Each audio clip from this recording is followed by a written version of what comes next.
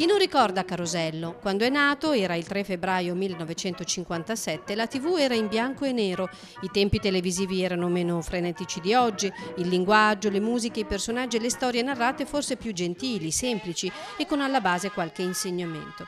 Quanti bimbi, per almeno un paio di generazioni, sono andati a letto dopo Carosello? A questa mitica produzione della televisione italiana, Marco Melegaro, giornalista di Sky TG24, veronese d'origine, romano d'adozione, ha dedicato questo piccolo grande libro, Carosello, genio e pubblicità all'italiana. Perché hai deciso di scrivere Carosello? C'erano i 60 anni dall'inizio e i 40 dalla fine del programma e non volevo che questa ricorrenza passasse inosservata. Quindi negli anni ho cercato di raccogliere elementi, informazioni per raccontare anche il paese in quei vent'anni lì.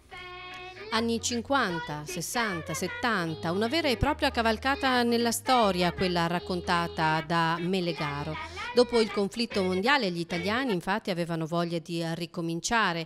È il momento del boom economico, il cambiamento dei costumi, delle abitudini degli italiani una vera e propria inversione di rotta per arrivare alla modernità di oggi. Come siamo evoluti? In meglio o in peggio? Eh, dipende, chiaramente c'era più attenzione pedagogica, no? era un tipo di televisione che infatti eh, se vogliamo pensare no, la censura era spesso in azione per diciamo, eh, cambiare alcune pubblicità, alcuni messaggi che erano troppo poco in linea con i tempi, erano i tempi chiaramente, parliamo dal 57 al 77 della democrazia cristiana, Ettore Bernabei, delle calze alle Kessler, insomma c'erano tantissime censure anche impensabili oggigiorno, ecco, non si poteva neanche dire avanti Cristo con tutto il bene che vogliamo ai nostri amici di Telepace. Oggi la televisione è sicuramente cambiata, anche il modo di approcciare la televisione è cambiato, però in realtà noi viviamo della storia del passato, del nostro passato. Quella televisione là dal 57 in avanti fino al 77, il periodo proprio che tu hai descritto, è una televisione che ha fatto storia, che ci ha insegnato anche l'italiano.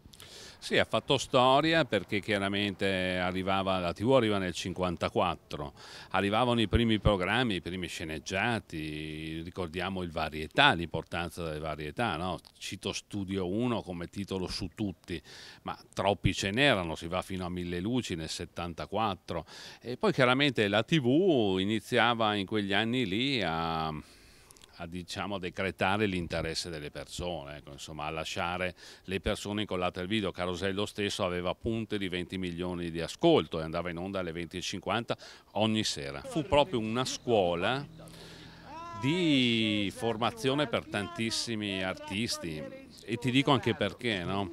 eh, il motivo è che chiaramente no, mm, bisognava un po' fare la tv all'inizio e poi c'era la necessità di fare dei mini film che precedessero il messaggio pubblicitario stesso, il cosiddetto codino e questo faceva sì che nelle serie di caroselli che si mettevano in movimento bisognava sempre inventare slogan nuovi, insomma sappiamo, no? storie nuove.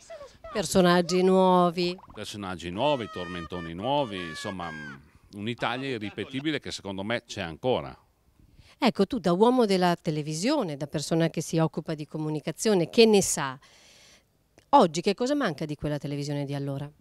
ma manca diciamo, certa, un certo rispetto dello spettatore, ecco. magari manca quella sensibilità che non ti fa andare nel volgare. Ecco, a Carosello questo non succedeva perché comunque arrivava la censura, la Sacis e quindi tutto pareggiava. Ecco.